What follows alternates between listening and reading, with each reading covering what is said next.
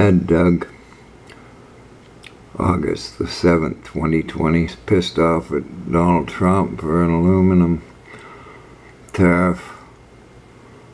So this, uh, Joseph Stahl said thanks to the Premier for calling out the President.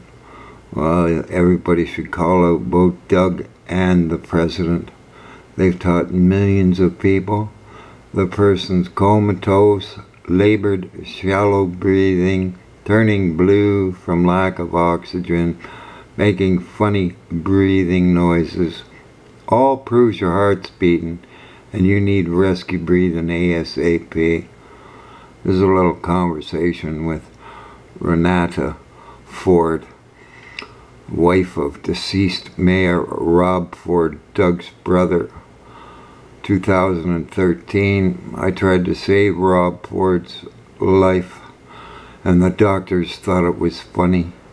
I said, I guess this live human study can end till someone kills the mayor if he smokes too much crack, drinks too much, has a diabetic coma, stroke, or chokes on the extra gravy. The doctors started laughing their fool heads off. Yeah, yeah, yeah, yeah, Gary, kill the mayor, kill the mayor.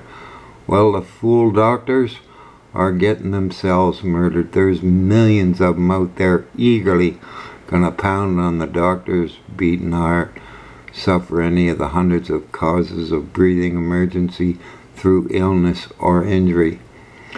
Any other day, uh, Greg Watts got the job of cleaning up the Toronto Police Department. So I sent him a little thing on his LinkedIn, and uh, this is a copy of it. And there's a copy of the Ontario Chiefs of Police training literature there, which says to give chest compressions. And every police officer knows that's wrong.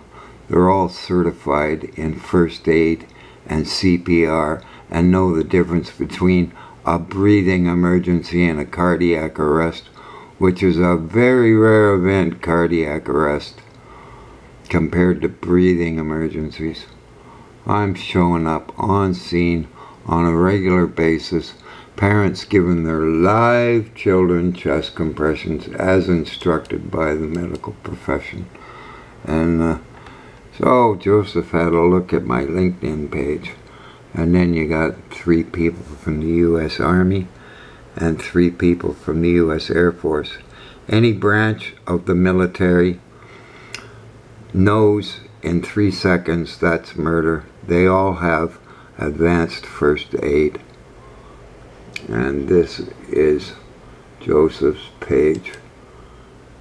Hey, Joseph, you might want to stop them before they kill your children. Unbelievable. Read the comment box, all the information's there. And then think and stop making yourselves physically and emotionally ill, denying you're being mass murdered.